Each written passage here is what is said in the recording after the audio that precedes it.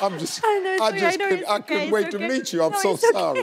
This is, this is, uh, you know what? Well, I'm glad that after 22 years you still laugh about it. But something, something good has come out of my, you know, Absolutely. negative. You, And you have an organization. I It's- do it's have called an Lorena's organization. Way, uh, it's called Red Wagon. Lorena's oh, Lorena's Red Wagon, which What is it? what I is uh, basically to help abused women and children Mm-hmm. through family-orientated activities. And what I do is I go to the shelters and ask, uh, talk to the coordinators and ask what are the women and children needs in each shelter, so I can provide for them. Absolutely. Because when um, a victim leaves um, the house, they don't have time to pack. You know, they don't. They just have the first opportunity to leave, and Right. God forbid if they have kids, so they take the kids too.